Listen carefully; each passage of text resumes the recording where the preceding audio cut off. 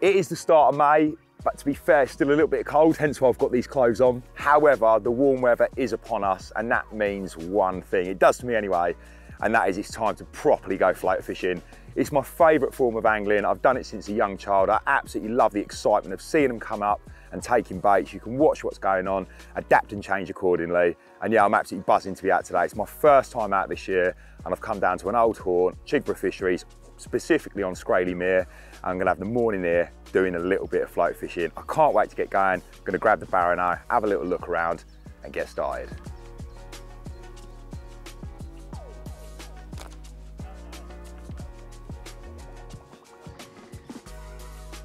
Keeping things to a minimum to start with. I'm not gonna go mad and put loads of bait out and just watch for the next half hour. See if I can find a few fish. And while they're hopefully getting confident taking a few, I'm gonna get my rod prepared.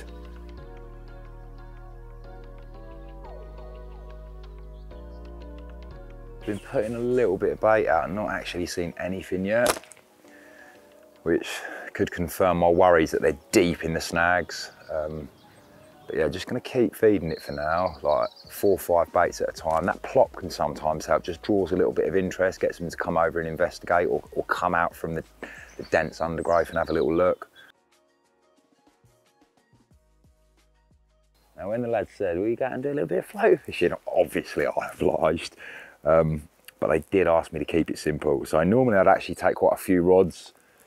Do you know what? I'm really happy today because I've kind of got one main rod. I have brought a spod reel with me, but Scraly's a little bit too small and intimate for starting to chuck Dot Spods around. Um, you know, I might use it on the main lake later or the venue that we go to potentially later on this afternoon.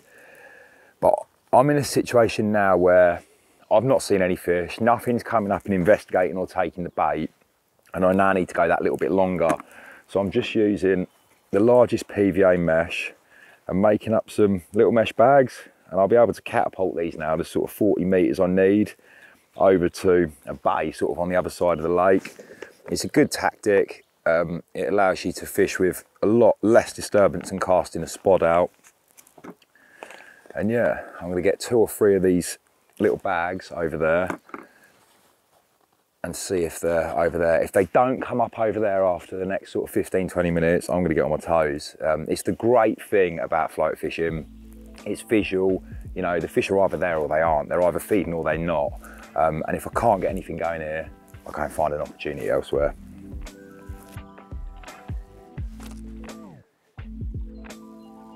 I'm probably going to get on my toes. Like I said earlier, there's no point in hanging around if they're not coming up and feeding or you can't see black shapes or you can't see vortexes and distortion in the water. I'm seeing nothing. So what is there for me to hang around for? Off to another lake, I think.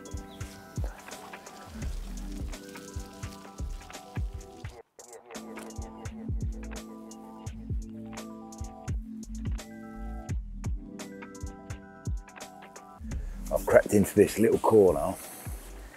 They're not going mad. They're taking the odd one. Now, like I say, it's, it's early in the year still, start of May. They've probably not really seen many floating baits so far this year. Hopefully, with a little bit of time and that regular introduction, little and often, I can get them up and, and taking a little bit more confidently. Real simple, 10 pound Zig Flo again, size 10 floater claw and I've mounted an imitation directly onto the shank. Let's get one out in position.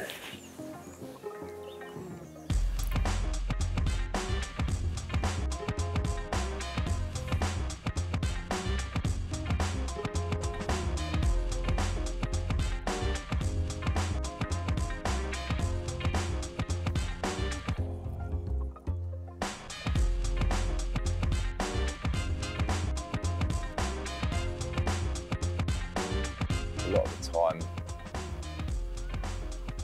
when they know what's going on, i.e. they're being fished for, they'll often come up and maybe deliberately miss a bait, knock a bait.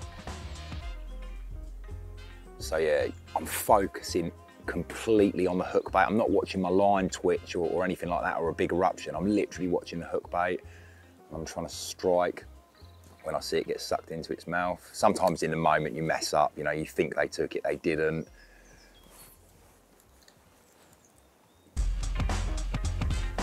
でして。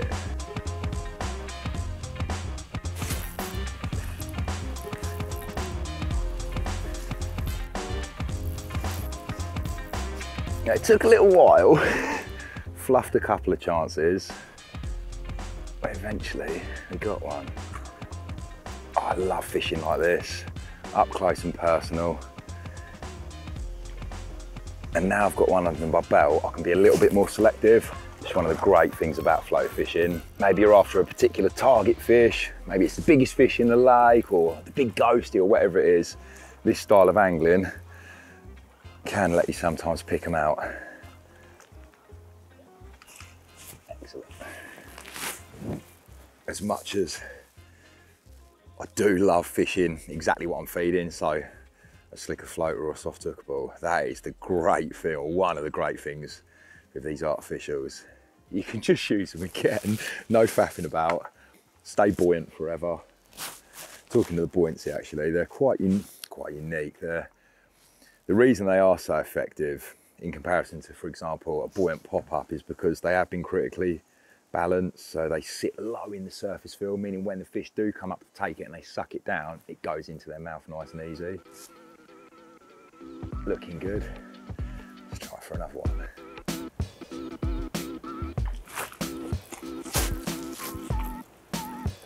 Oh, he's a lovely one.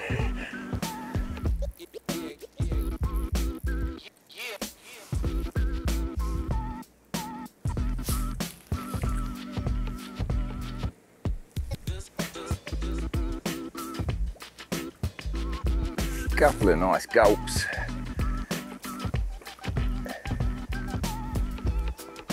There we go. Well, that was a really fun hour.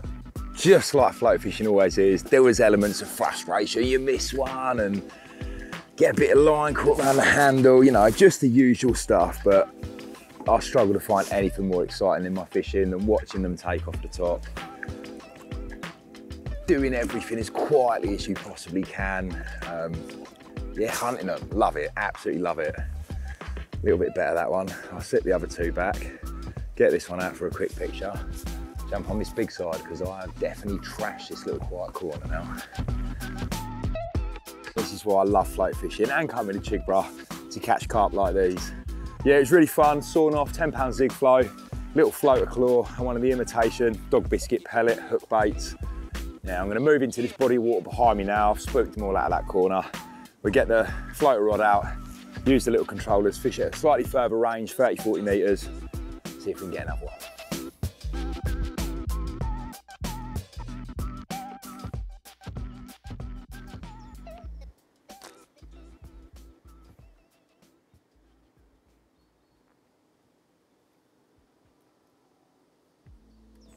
Well, I've run out of bait, I've got through half a bag already. So I'm just gonna knock up a fresh mix. These here, they're absolutely great straight out of the pack, but I never think it hurts to give them a little bit of boosted attraction. Plus, the imitation pellet I'm fishing has been soaked in Scopex squid, so it kind of makes sense to match it to the freebies. So that's a little bit of syrup, a little bit of this here. I haven't shook this because I'm trying to get the oil content off the top.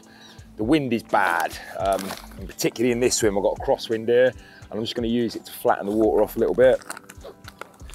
So I give them a good dose of oil and glug, get them all sticky and tacky. Like that. And then to really boost them up, I'm just gonna give them a good dusting in the cultured stick mix. Love this stuff.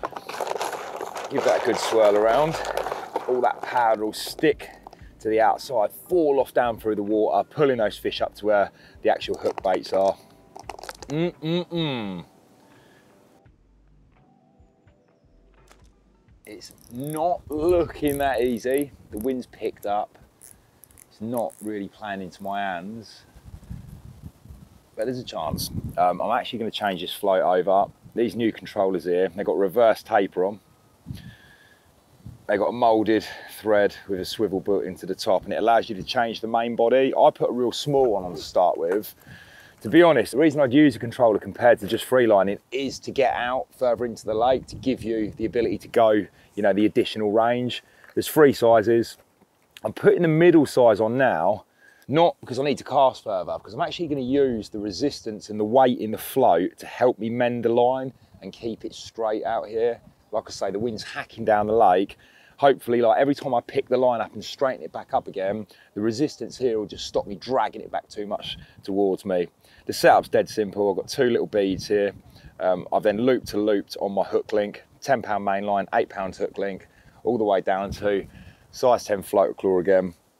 These rods are lush. They've got keeper rings in various different positions. One here, one in the more conventional position up here, and one on the bottom of the, the tip itself, meaning that if you are fishing really, really long hook links, which sometimes I do, when the fish are really wary of the float, means you're not constantly folding your hook link over and kinking it. Anyway, I'm gonna get going because I don't think this next bite's gonna be that easy.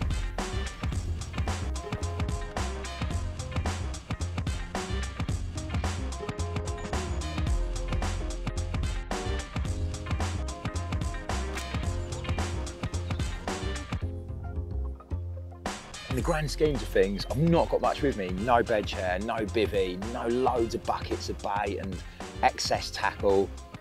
It's just a nice way to angle. Talking specifically about my terminal tackle, I've managed to condense absolutely everything into this little 125 water box. Um, inside here I've got my floats, got my swivels, got my hook links, etc. Um, there's a pouch in the top, I've got some zig screws in there, some refill for the PVA, you can tend to go through quite a lot of that if you're pouching out lots of bags. Um, I've got a water box organiser here, selection of hooks from size 12 up until size 7. I've got a little pouch here with some 10 and 12 pound Zig Flo inside it and a selection of the new controllers and then three smaller compartmented boxes this particular one is an eight. I've got some zig liner tubes, some bait bands, um, some ledger stops, a further compartment box with some bread bombs, a couple of needles and some hair stops.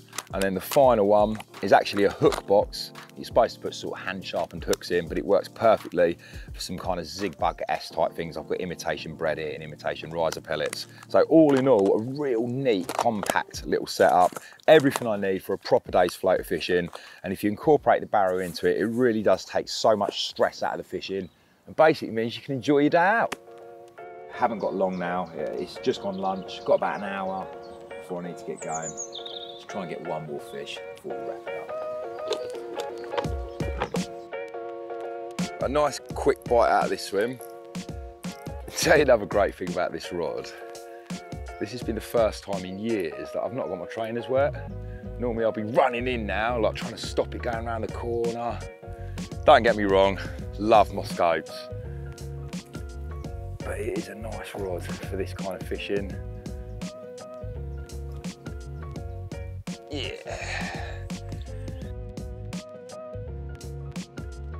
And that is my first flight session of the year over. A mixture of stalking them with the sawn off and a free lined imitation mixer and on the longer Flota Rota rod catapulting slicker floaters and riser pellets out there into the lake. Yeah, it's just been really exciting. It's my favorite way of angling and I hope you guys get the opportunity over the coming weeks and months to get out there and do a little bit of float fishing yourselves.